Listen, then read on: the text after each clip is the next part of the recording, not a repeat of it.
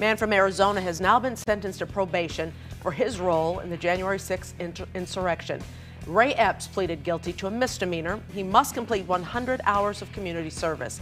Forced into hiding when right wing conspiracy theorists accused him of being an undercover agent.